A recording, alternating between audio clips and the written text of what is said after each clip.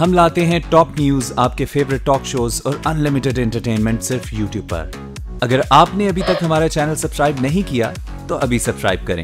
اور bell icon کو click کر کے ہماری لیٹسٹ ویڈیوز کے بارے میں اپڈیٹ جانیں۔ سبسکرائب کیجیے اور ہم آپ کو لیے چلیں گے آپ کی فیوریٹ ویڈیو کی طرف۔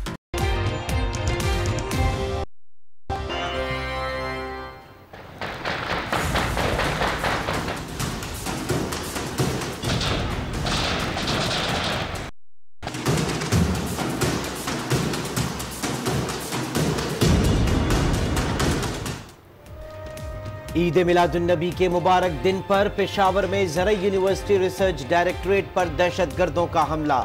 نو افراد شہید، چونتیس چودہ میں چوکیدار اور طلبہ بھی شامل۔ طلبہ کا کہنا ہے کہ فائرنگ کی آواز سنتے ہی ہاسٹل سے بھاگ کر جان بچائی۔ آٹھ انیس اے ایم پر دہشت گرد داخل لوگوں نے فائر کیا تو ہم سو رہے تھے، اچانک نیند سے اٹھ گئی تو ہم نے اچانک بس ایسے ہی دوڑ لگا سیدھا اور اس سائڈ ایمرجنسی گیٹ تھی، اس پر ہم نے بس چلانگ لگائے تقریباً آٹھ یا نو فیٹ کی ہے۔ سیکیورٹی فورسز کی بر وقت کاروائی، چند منٹ کی کاروائی دہشت گردوں کو مار دیا۔ خود کش جیکٹ، دستی بم اور دیگر اسلحہ برآمد ہوا۔ آئی جی خیبر پختونخوا، صلاح الدین نے میڈیا بریفنگ میں بتایا کہ تین دہشت گرد برقع پہن کر آئے تھے۔ خود کش جیکٹس بھی پہنی ہوئی تھی پولیس تین سے پانچ منٹ کے اندر موقع پر پہنچی۔ فوج اور پولیس نے ایک دوسرے کے ساتھ بہترین تعاون کیا۔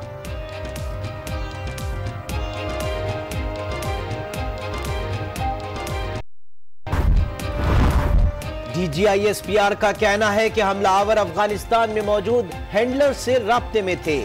صبح دس بجے تک آپریشن مکمل کر لیا تھا۔ پولیس کی کارکردگی بہترین رہی۔ عمران خان کہتے ہیں، دہشت گردوں کے ناپاک عزائم خاک میں ملانا سیکیورٹی فورسز کی پروفیشنل مہارت کا نتیجہ ہے۔ پولیس میں اصلاحات کے بعد اب صوبے میں شرنگیزی آسان نہیں۔ دھرنا پچھلا ہو یا اب کا؟ داڑھی کا تھا۔ دونوں دھروں میں گالیاں دی گئی مقصد صرف نواز شریف کو گرانا تھا۔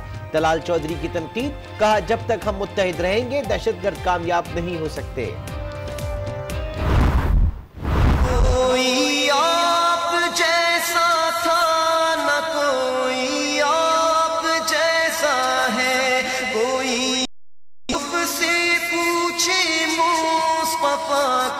حسن کیسا ہے؟